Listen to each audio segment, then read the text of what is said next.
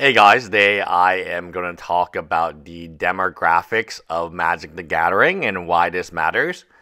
So, according to Magic the Gathering themselves on their own website, the average age of a Magic the Gathering player is 30 years old. In fact, let me read you this right now.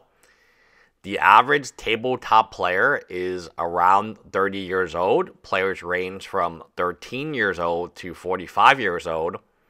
One third of players have been playing less than three years. One third have been playing up to 10 years. One third have 10 plus years experience playing the game.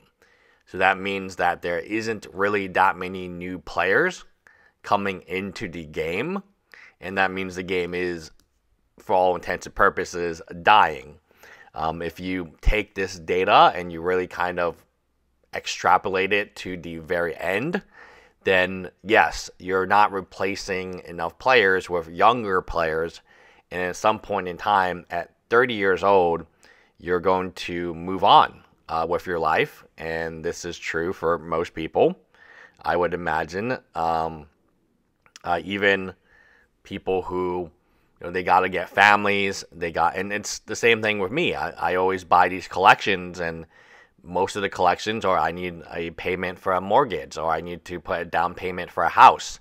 I need to pay for my kids' uh, high school or um, elementary school. And in Texas, we have a lot of charter schools. Uh, public schools in Texas, or where I live at least, are extremely, extremely bad. And therefore, people need money for tuition, right, for their kids.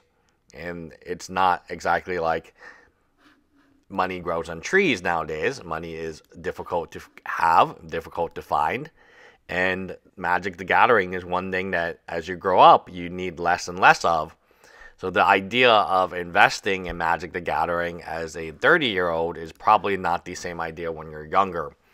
So the player base gets more and more old, and they get more and more aware of finances and maybe they have to do other stuff now. They have to buy a car. They have to move out of their parents' home. They have to pay off student loan debt.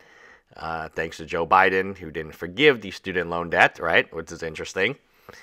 Um, yeah, as things get more and more different, um, people are going to need more money, and the money that they need is not going to be necessarily money that they would spend on Magic the Gathering. So I would be very shocked if 30, you know, 30 around 30 years age group, if that group holds true and they continue to buy this product for a extended period of time, mainly because at the end of the day, um, Magic the Gathering is what it is, and it's not able to find new players. It is tabletop games are not able to find younger people. They want to play Minecraft. They want to play Fortnite. They want to play, you know, anything. You know, anything that is uh, app based, right? Uh, most of the popular games for young people are mobile apps are in their cell phone. Um, it's not card games. It's not this. It's not that, right? And in my personal opinion, um, that totally makes sense to me. Um, I completely understand the desire to not want to spend money or time on card games where they're very bulky and you know and, and mobile games it's just on your phone. So even though and you could even make the argument that some mobile games you can sell the assets for money right? Depending on the skins and things of that nature. You know obviously what was that? There was a skin thing majig where you can gamble with skins. I think it was a uh, counter strike okay yeah counter strike and you could buy skins and gamble on skins and win money and so on. So, I mean, it's not entirely incorrect to say that um, mobile assets have no value. They, they can have value, right? And in the future, I think Magic the Gathering is going to suffer immensely for the fact that there simply is not uh, is not a younger player base, and they haven't really focused on the younger player base uh, making the games more important to them. Um, when you go to Magic the Gathering store, when I used to go, there would be young people there under 13, under, you know, and they're just kind of hanging around playing games, getting promo cards, right? Being gifted stuff. And that's perfect. That's great. um, in my opinion. Now there's no young people playing the game. It's all 30 plus year olds. And what do you expect will happen? Well, the eventual outcome is pretty much what anyone would know. If all your player base is getting older and older and you're not replacing them with young people, then your game is, in fact, dying. I've always been concerned. There was a big concern before COVID. It's like, who's collecting sports cards? Who's collecting magic cards now? And will that generation of younger people, will they support this? Will they want to eventually buy these cards? And I think the answer is no, that they're not going to want to buy these cards. Um, I've seen desperate patrons from Alpha Investment trying to sell off.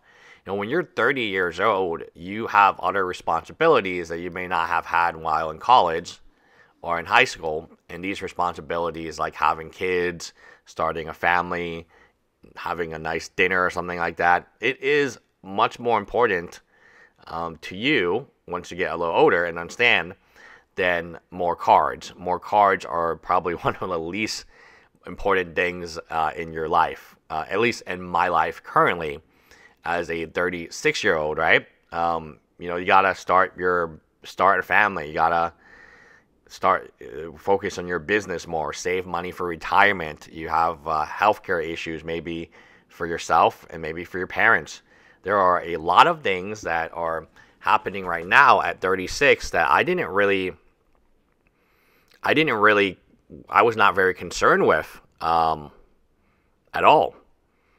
Um, I was not concerned with these things when I was younger. And to be quite frank with you, um, I think a lot of times when people are concerned, and you know, it, it is difficult for me to say this, but I'm going to say this.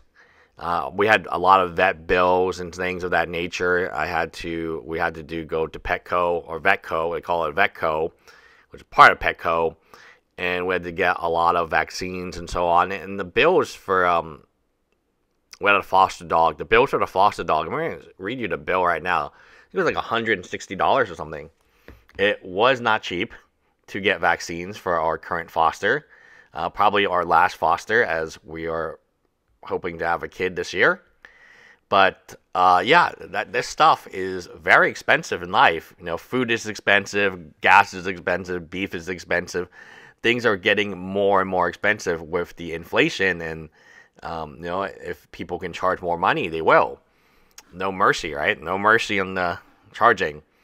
So I do think when you're 30 years old, you have a better view of what life really is like. It's not uh, living off student loans, right? And that you don't know that you have to pay back yet and that you're hoping will be forgiven. It is uh, slightly different from that, right? It's a very, very different situation that you're living in. Anyway, bye guys.